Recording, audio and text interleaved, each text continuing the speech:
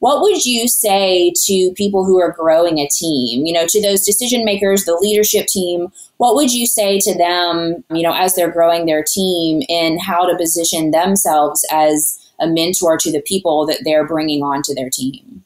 I think the most important thing when you're building a team is making sure every single person is on the same page with what is our mission, who are we helping, or who is our audience, and just how are we going to keep narrowing that down and hammering that down? If there's any question about what are we actually doing like there should be just no question about that because the more the stronger that mission is and then everyone can just kind of get on board with that and be a united front and working towards that. When people are confused and unclear then i think teams are just not strong like that. So that's that would be like the first thing with building a team yeah, that's great. Are there experiences that you have had in your time in service and in the military? Are there things that you have learned that have specifically, that could be specifically applied to growing a business and, or growing a team?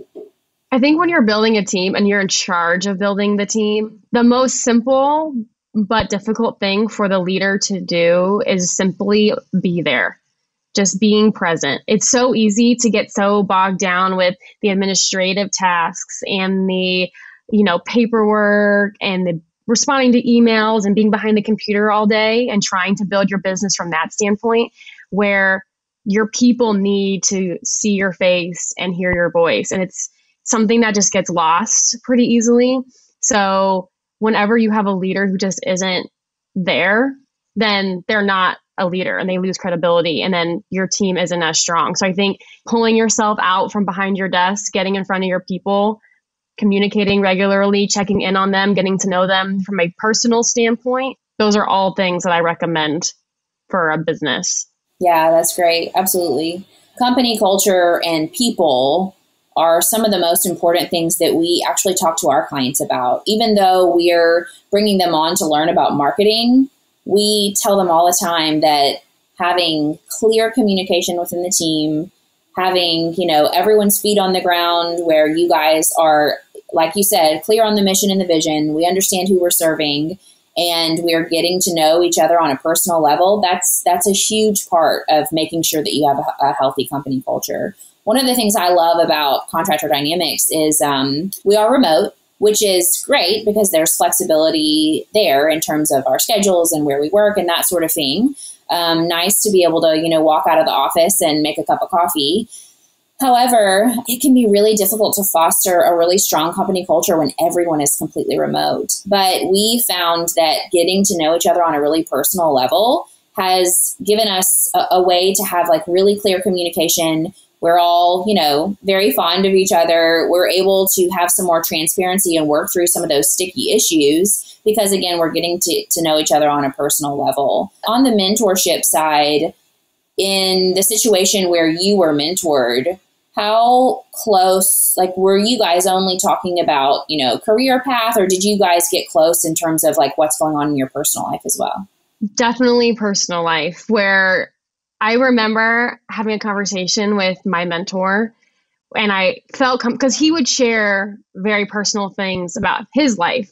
So therefore, I felt comfortable sharing what I was struggling with in my personal life. And you know, in the military, it's very you know rank this. So he's a lieutenant colonel at the time, and I'm a junior captain at the time. And so just that, those you know, that rank difference makes someone hesitant to let their guard down because you know we just need to be tough and show no emotions all the time.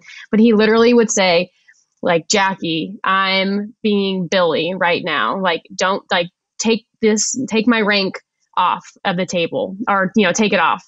So also that would show okay like we're i'm in a safe place to talk to this person. I remember having conversations where i was you know saying what i'm struggling with my personal life and he would literally say I know I'm not your father, but like if you were my daughter, this is what I would recommend to you. So he literally put himself in the shoes of like my dad, you know, and cared for me at that level. And I felt so truly cared for by that person from a personal standpoint, not even including all the career guidance that he would give. He was also a logistics officer, so he was, you know, had been in the Marine Corps for 28 years and had seen it all in that aspect as well. But him literally saying to me, I'm not your dad, but this is what I would tell you if you were my daughter.